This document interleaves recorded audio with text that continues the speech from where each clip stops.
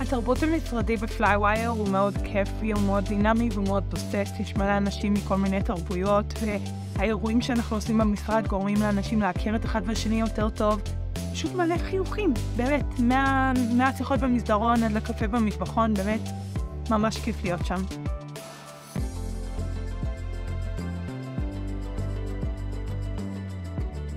אני מאוד אה, נהנית מלהיות חלק מ Playwire, או לקרוא לעצמי Playmate, כמו שכולם קוראים לעצמם פה. אני מרגישה שאני חלק מקהילה שמקבלת אותי ונותנת לי להיות הבן אדם הכי אותנטי והכי אני שיש. אז uh, זה מאוד כיף לי, וזה מאוד כיף להיות בסביבה שמקבלת אותך וכל בן אדם אחר.